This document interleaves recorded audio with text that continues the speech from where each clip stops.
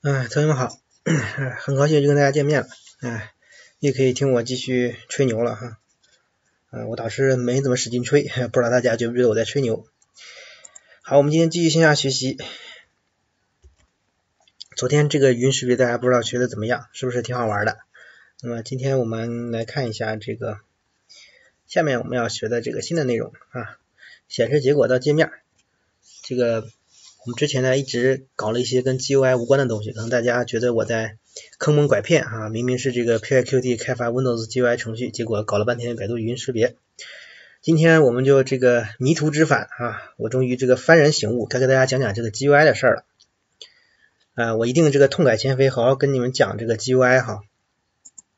今天这个学习目标是掌握将语音识别与 PyQt 结合的方法。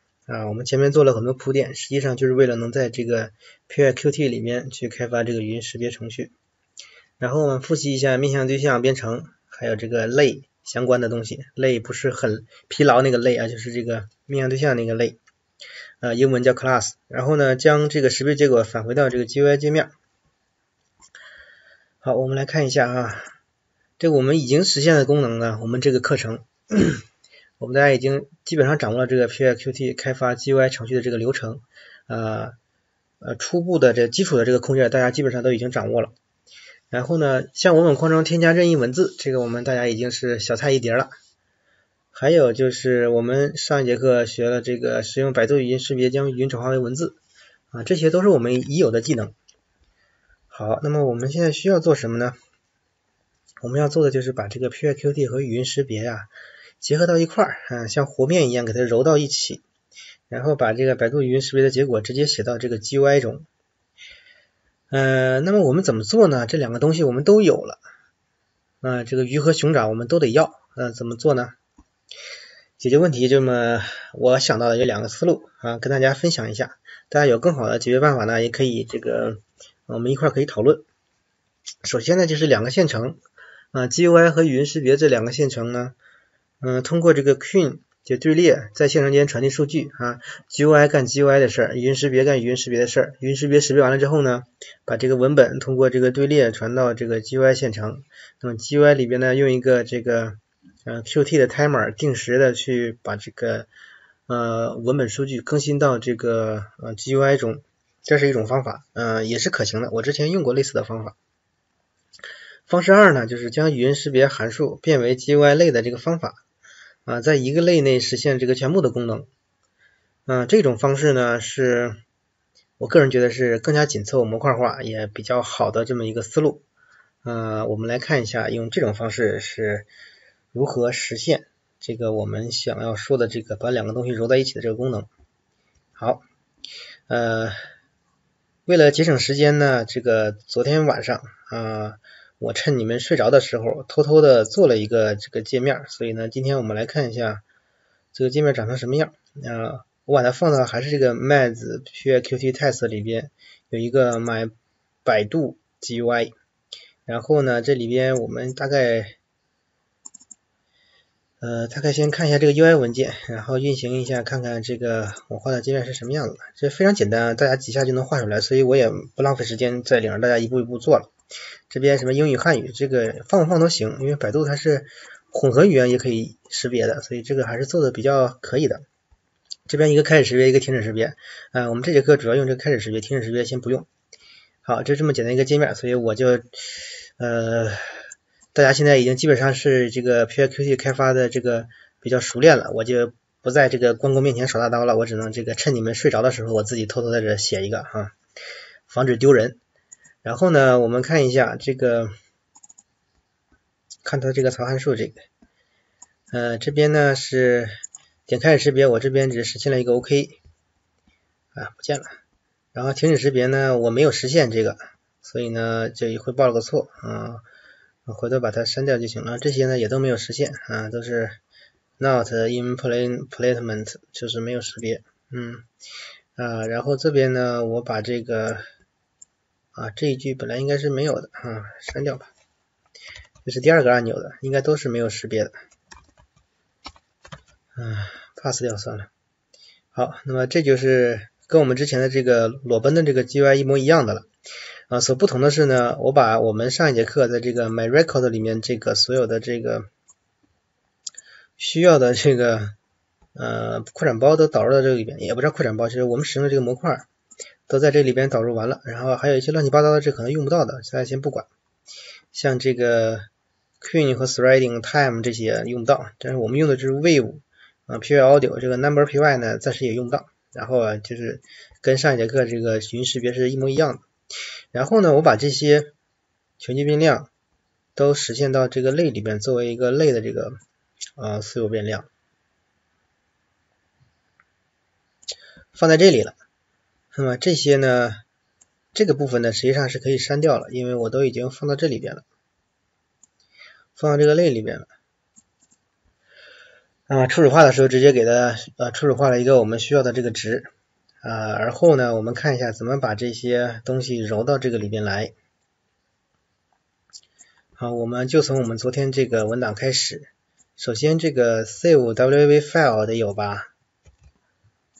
我们直接把它贴过来，贴过来之后调节一下缩进，然后作为类的这个呃方法呢。这个第一个参数默认的就是这个 self，所以我们要调一下这个。呃，调完这个之后呢，这个 file name 和 data 还是一模一样的，所以我们就不管它了。那么这个呃 record 的这个函数就是录音的这个函数，我们也把它变成这个类的方法。这个过程呢也是一样一样一样的。调过来之后呢，首先还是一样，嗯，实例的传给自己。好，那么这里边有个注意的小事项，这个 time 得用 self 点 time 了。嗯，我们已经把这个定义在这儿了，是二。然后其他这些都是一样的。所以呢，这个地方，嗯，也都是 self 点 frame rate，self 点 number samples。把这个全局的注释掉，不要了。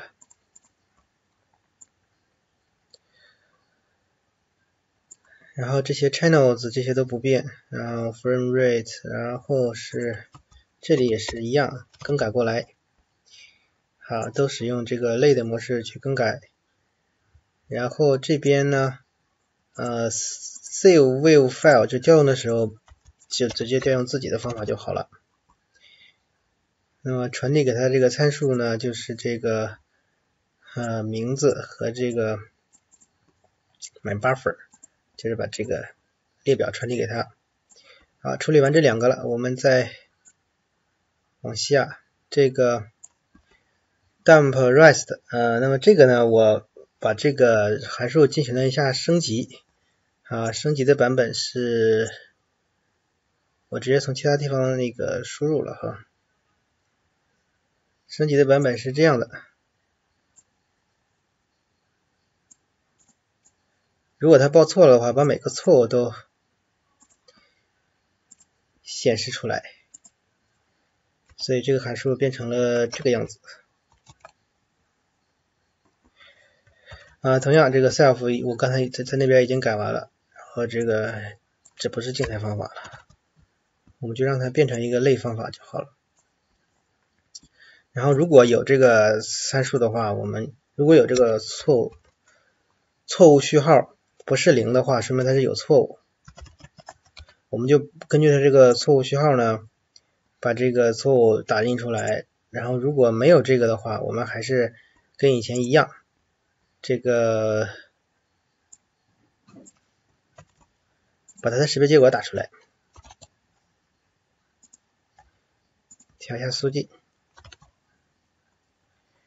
OK，那么这个函数也处理完了，处理完了之后，我们再看我们这个 get token，同样的复制过来，然后调缩进，self 给它，这个呃 use cloud 啊也是一模一样的，我们把它复制过来，复制过来之后呢，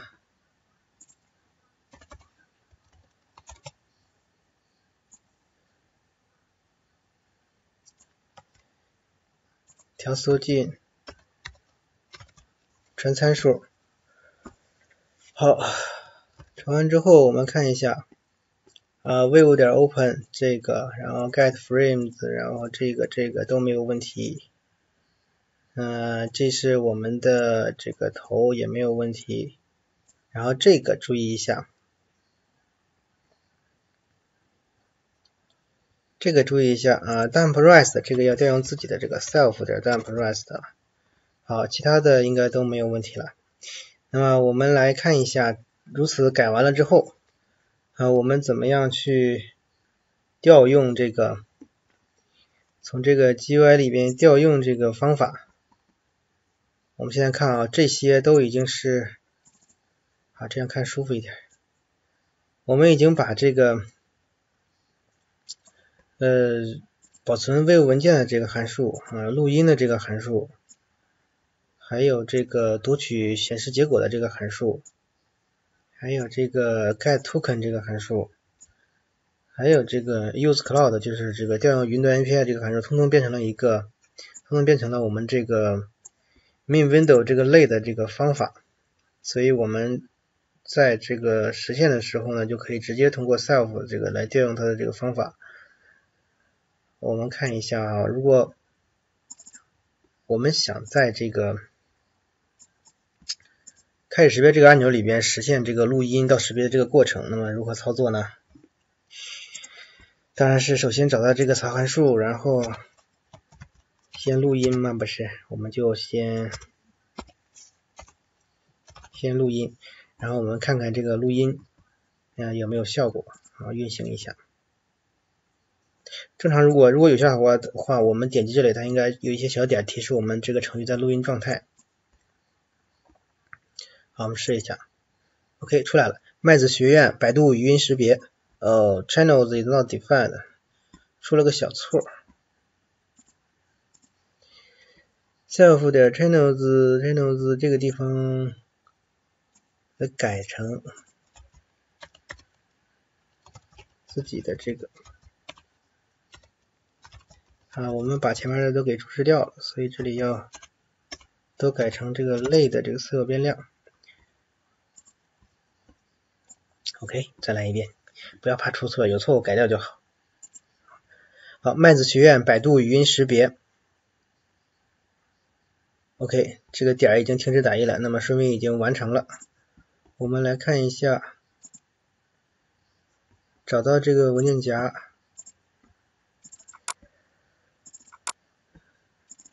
啊，OK，嗯，这里边有零一啊，原来这些是我进行测试的时候出来的数据，嗯，不管它。我们看我刚才说的录录没录下来。好，麦子学院百度语音识啊，尾巴没有录到，不过也不碍事儿。好，这个说明我们这个录音已经呃成功的移植过来，并且没有问题了。好，录完音之后呢，我们对它进行识别，呃，use cloud。那么 token 这个参数呢，我们得给它传递一个，直接调用 self 点 get token。好，看一下。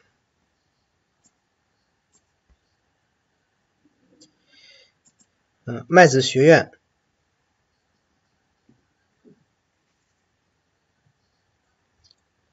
，OK，已经调用识别程序。啊，如果有错误的话，它也会把相应的错误打印出来。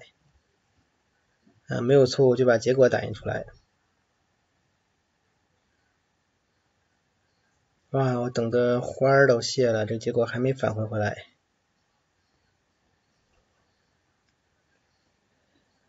好，我们再耐心的等一会儿吧，有可能回来结果，也有可能是个报错。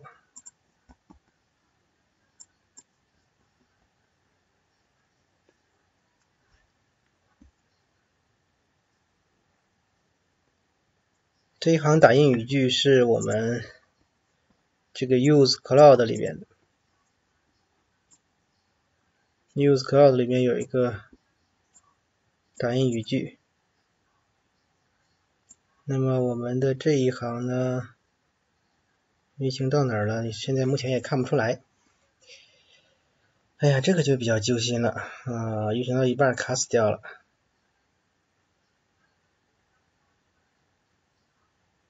嗯，卡死掉了，我们就不等它了，直接把这个进程截掉算了。OK，time out 了，把这个截掉吧。然后我们再看一下，再试一次。麦子学院百度语音识别。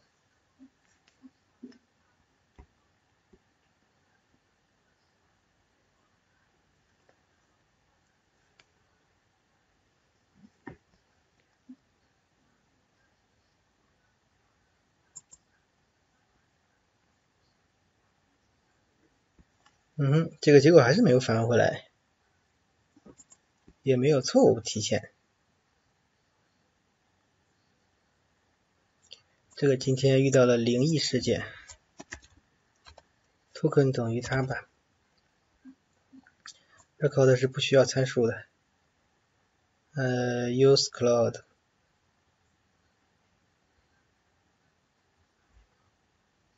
这些应该都是没有问题的。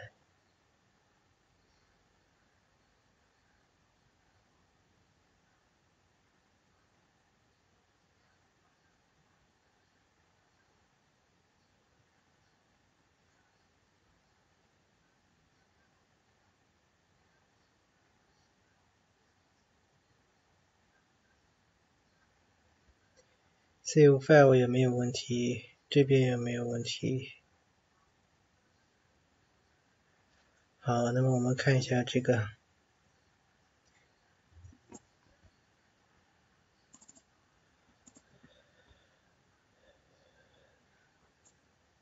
呃，老是超时，这是什么情况呢？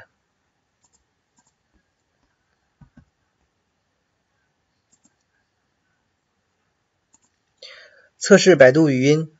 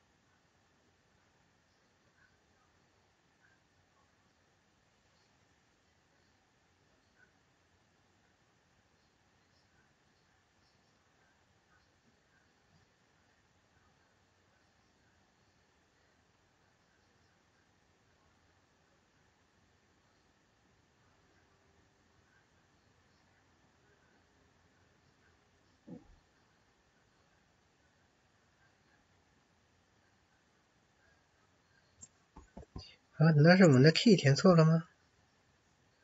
看看去。七七 A 三七结尾，A 一结尾，U F 开头。七七 A 三七结尾，U F 开头，A 一开头，哎，没有问题。呃，我们这个老是 time out，我是不是断网了？也没有。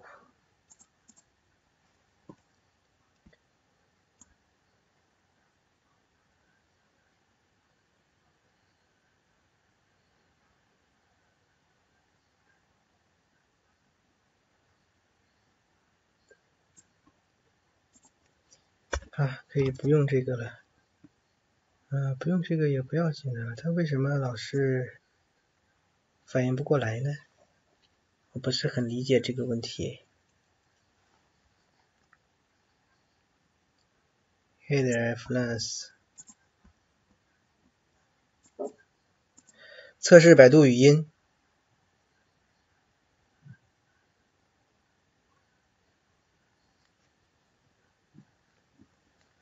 这个老是超时。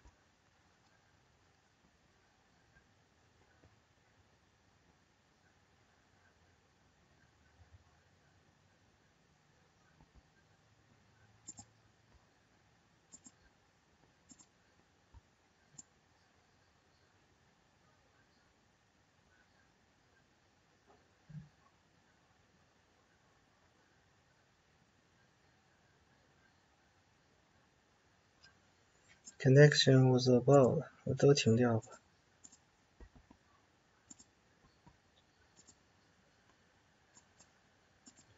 测试百度语音。OK 啊，终于有了啊，这是我原来可能有个程序有问题，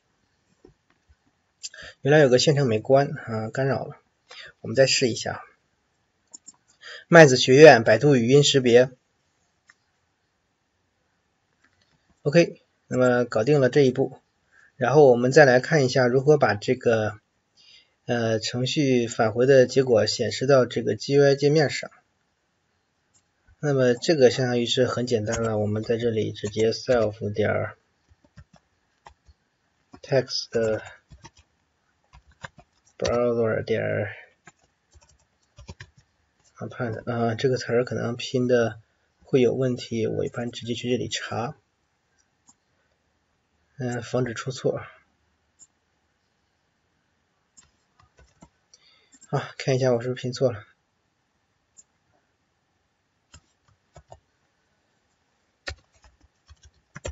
好像也没拼错，不过不不管它了。